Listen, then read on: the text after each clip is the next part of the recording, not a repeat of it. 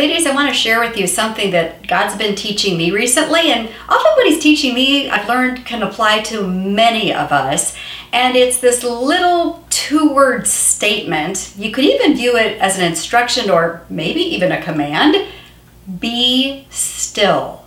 Now, I used to think that this mostly applied to like God's, you know, admonition to us, you know, like especially on Sundays to take a day of rest. And so I used to think it was about resting, about maybe just taking a time out from your busy schedule, maybe even cutting some things out of your busy schedule so that you could just have a little bit of downtime, a little bit of just soul deep refreshment because God knows we need that. And so that part of the instruction, be still, still applies that we do need to have those moments of just downtime and not feel guilty about it, but give ourselves little breaks throughout the day to just say, I'm maybe going to sip a cup of tea, or I'm going to just sit out in the sun with a good book for 10 minutes, or I'm going to sit in front of the fireplace in the winter for 10 minutes and just have some downtime. Because we hardly ever do that in today's society. We're always being jolted by technology or something, right?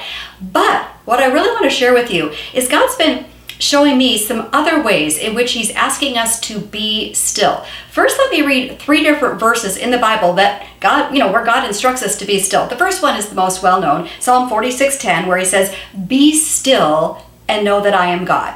Okay, but now listen to these other two verses. Psalm 37 verse 7.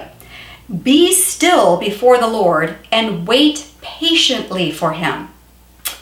And Exodus 14 14, the Lord will fight for you. You need only to be still. Huh.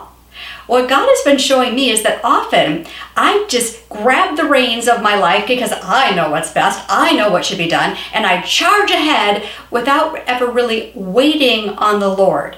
And I think He's saying to all of us, would you just wait on me for a moment? Would you be still? Stop all your striving, stop all your Googling for the right answers, just be still with me and let me nudge you. This is like the Lord speaking. Let me nudge you when it's time to move forward. And I will have already had the time then to move things into place, to orchestrate things, to guide you.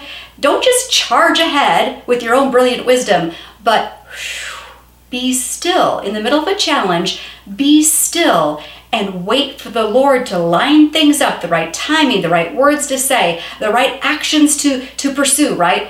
Wait on the Lord. Be still.